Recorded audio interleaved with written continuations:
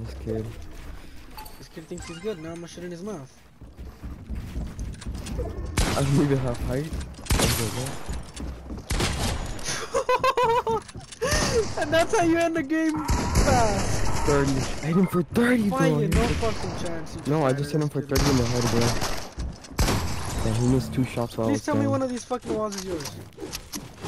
No. You're so Okay.